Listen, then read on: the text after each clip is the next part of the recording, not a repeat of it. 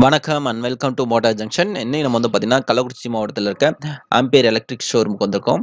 So இது வந்து பார்த்தீங்கன்னா Sri Harshitha electric E motor show showroom so இவங்க வந்து பார்த்தீங்கன்னா உந்திரப்பேட்டை அந்த கள்ளக்குறிச்சி ரெண்டுலேயும் ஷோரூம் இருக்குது ஸோ இந்த ஷோரூமில் நம்ம ஆம்பியர் மேக்னஸ் சிஎஸ் உடைய ஃபுல் ரிவ்யூ வந்து பார்க்க போகிறோம் ஸோ வாங்க வீடியோக்குள்ளே போகலாம் வீடியோ ஃபுல்லாக பாருங்க. வீடியோடைய எண்டில் வந்து பார்த்தீங்கன்னா ஆஃபர் ஒன்று போட்டிருக்காங்க. அதை பற்றி சொல்லியிருக்கோம். வாங்க வீடியோக்குள்ளே போகலாம்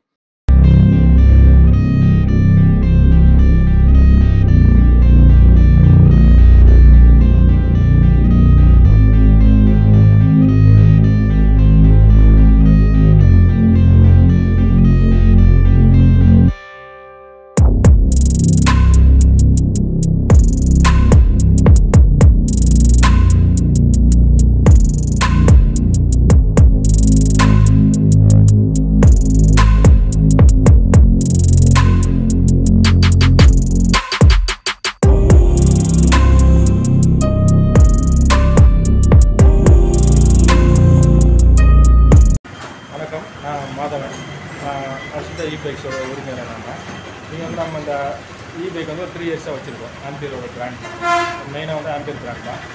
இப்போ ஆம்பியரில் வந்து பார்த்தீங்கன்னா மேக்னஸ் இஎக்ஸ்ன்ற மாடல் வந்து நல்லா போயிட்டுருக்கு அது வந்து பார்த்தீங்கன்னா உங்களுக்கு ரிஜிஸ்ட்ரேஷன் மாடல் மேக்ஸிமம் வந்து உங்களுக்கு ஒரு சார்ஜுக்கு நூற்றி இருபது கிலோமீட்டர் வந்து நூற்றி இருபது கிலோமீட்டர் போகும். இது வந்து பார்த்தீங்கன்னா ரிஜிஸ்ட்ரேஷன் மாடல்ன்றதுனால உங்களுக்கு ஸ்பீடும் வந்து உங்களுக்கு அப் ஃபிஃப்டி ப்ளஸ் போகும். இதில் வந்து பார்த்தீங்கன்னா த்ரீ இயர்ஸ் வாரண்டியும் கொடுக்குறோம். த்ரீ இயர்ஸ் வாரண்டி ப்ளஸ் இருபதாயிரம் கிலோமீட்டர் வாரண்டியும் எது முன்னாடி வருதோ அதை பொறுத்து.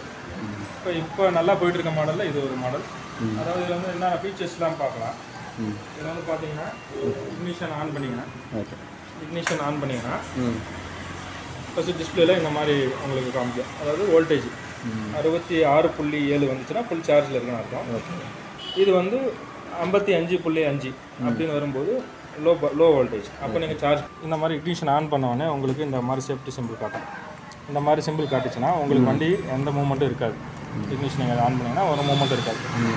ஏன்னா சைல்ட்ஸ்லாம் வந்து யூஸ் பண்ணும்போது வீட்டில் இருக்கும்போது சும்மா இருக்கும்போது சாவி ஆன் பண்ணி திரும்பி பார்ப்பாங்க. ஆமாம் பசங்களாம் இருந்து போகணும் அந்த சேஃப்டிக்காக இந்த மாதிரி ஒரு சிஸ்டம் கொடுத்துருக்காங்க. இந்த மாதிரி கார் டூ வீலரில் நம்ம பெட்ரோல் வண்டியில் வர மாதிரி இப்போ செல்ஃப் ஸ்டார்ட் கொடுத்தீங்கன்னா இங்கே ரெடின்னு ஒரு சிம்பிள் வரும். ஓகே ரெடின்னு வந்ததுக்கப்புறம் தான் அந்த வண்டி ரெடி டு டிரைவ் அப்போ நீங்கள் ஆக்சிலேட் கொடுத்தீங்கன்னா வண்டி ஸ்பீடு போகும்.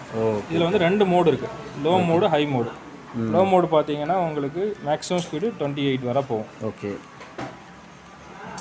ஓகேங்களா இது வந்து ரன்னிங்கில் டுவெண்ட்டி எயிட் தான் போகும். ஓகே வித் லோடில் இதுவே இப்படி இந்த பட்டன் இந்த பக்கம் high mode high mode high மோடில் போட்டிங்கன்னா உங்களுக்கு ஐம்பத்தி அஞ்சு வரை போகும்.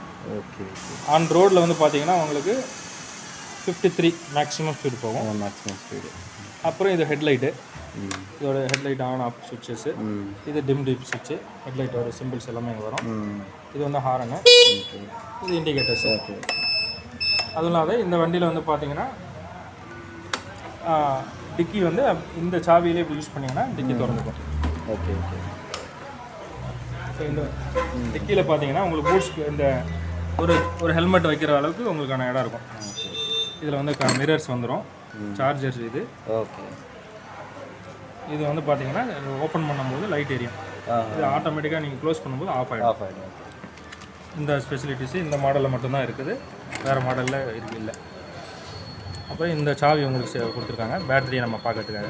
இதில் வந்து பேட்டரி வந்து பார்த்தீங்கன்னா அறுபது வோல்ட்டு முப்பத்தெட்டு ஏஹெச் பேட்டரி இது வந்து ரிமூவபிள் டைப் இந்த பே இந்த பின்னை வந்து இப்போ ஒயரை பிடிச்சி விட்டுட்டு நம்ம இது பண்ணிக்கலாம். ஓகே ஸோ இதை வந்து போத் ரிமூவ் பண்ணி சார்ஜ் பண்ணலாம் அப்படியே வச்சு சார்ஜ் பண்ணலாங்களா? இது பண்ணிட்டு இது பண்ணினீங்கன்னா உங்களுக்கு பேட்டரி வந்து ஹேண்டில் இருக்கும். நீங்கள் பிடிச்சி மேலே தூக்கி நீங்கள் உங்கள் வீட்டில் எங்கே தேவையோ அங்கே வந்து நீங்கள் சார்ஜ் போட்டுக்கலாம். ஓகே அது இல்லாத இது இது இந்த வச்சு பிளாக் பண்ணிக்கலாம்.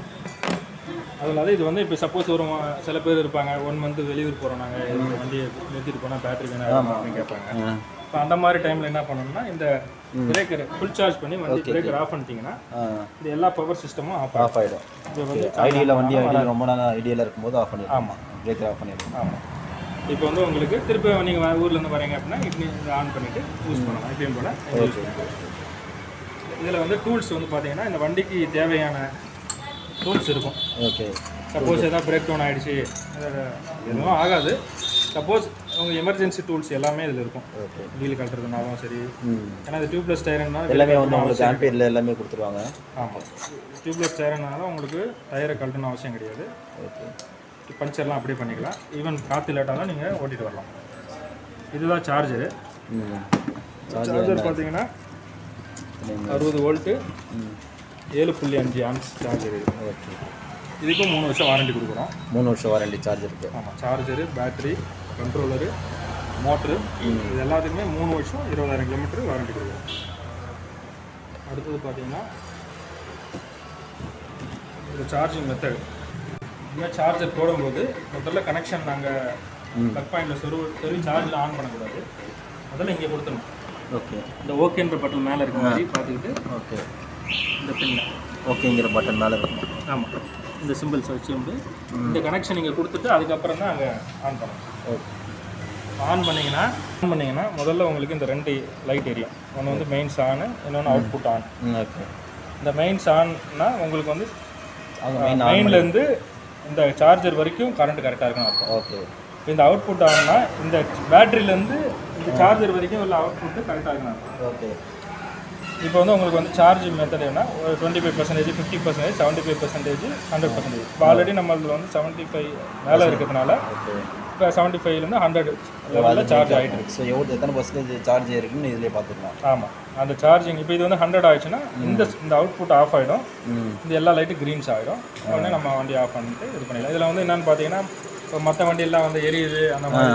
கம்ப்ளைண்ட்ஸ்லாம் சொல்கிறாங்க இந்த மாதிரி இதில் எந்த கம்ப்ளைண்ட் இது வரைக்கும் ரிசீவ் ஆகல. இது மாதிரி வரவும் வராது.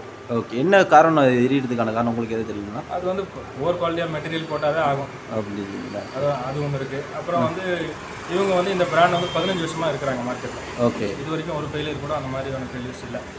அதெல்லாம் இவங்க போடுற எல்லா மெட்டீரியலும் குவாலிட்டியான மெட்டீரியல்ஸ் ஓகே ஓகே இப்போ வந்து பார்த்தீங்கன்னா உங்களுக்கு இந்த லித்தியம் அயன் பேட்டரி ப்ளஸ் அதில் வந்து நிறையா சேஃப்டி ஃபீச்சர்ஸோடய வருது ம். இப்போ ஏதோ ஒரு எமர்ஜென்சி ஏதோ ஒரு ஷார்ட் சர்க்கிட் ஆகுனா ஆட்டோமேட்டிக்காக பேட்டரி வந்து சேஃப்டி மோடில் போயிடும். ஓகே சேஃப்டி மோடில் போகிறதுனால உங்களுக்கு இந்த மாதிரி எரிதல் இந்த மாதிரியான எந்த பிரச்சனையும் வராது. வந்ததும் இல்லை. நம்ம பிராண்டில் மற்ற பிராண்டில் வேறு என்ன அவங்க யூஸ் பண்ணுறாங்கன்னா அவங்க டெக்னிக்கலாக அவங்க சொல்லுவாங்க.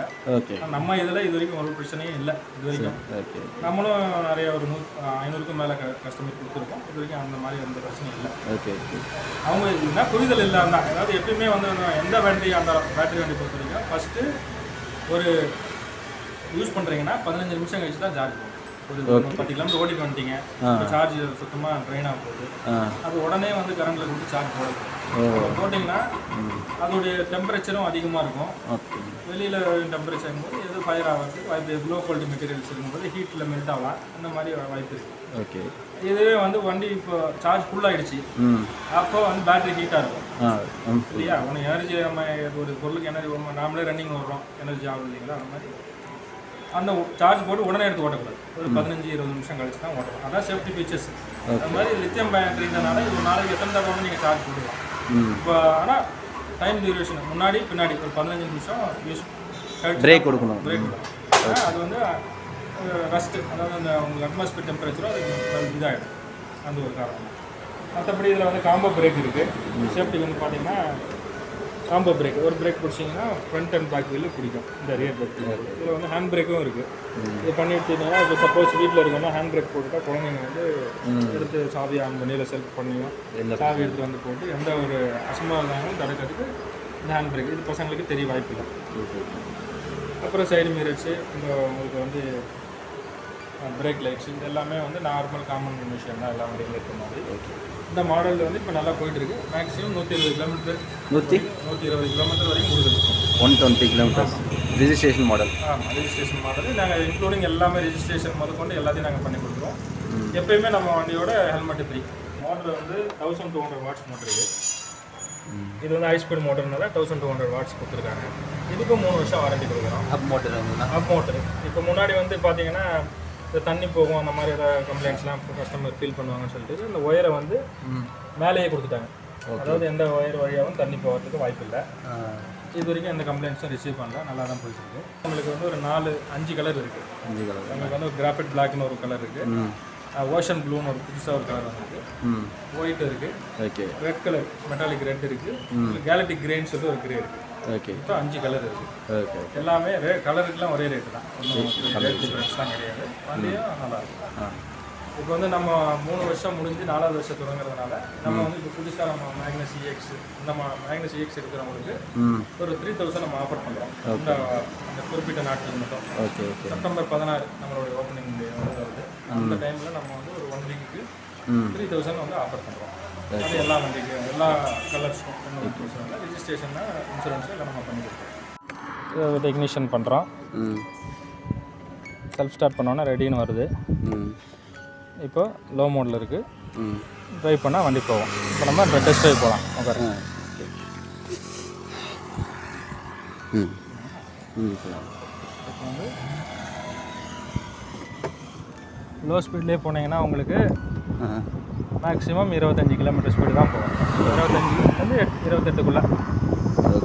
இப்போ சப்போஸ் நம்ம வந்து கொஞ்சம் வேகமாக போனோம் அப்படின்னா ஹச் மோடை மாற்றிக்க வேண்டியதுதான்.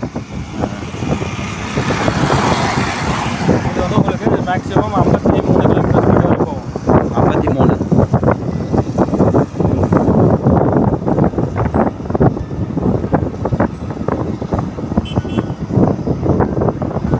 ஐம்பத்தி உங்களுக்கு வந்து வண்டி வந்து வேகமாக போகிற மாதிரி தெரியாது. உங்களுக்கு பாடி பெயினும் இந்த மாதிரி சஸ்பென்ஷன் எல்லாமே நல்லா இருக்கும். வண்டி ஓட்டுறதுக்கு நல்லா ஸ்மூத்தாக இருக்கும்.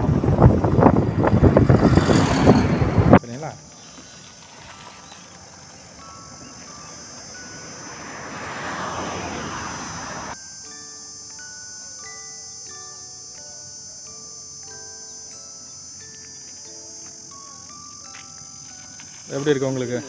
எலக்ட்ரிக்னால சுத்தமாக சவுண்ட் சவுண்டே கேட்கல அதனால பெட்ரோல் ப்ரைஸில் வந்து பார்த்தீங்கன்னா கண்டிப்பாக ஈவி மாற்றி ஆகணும்.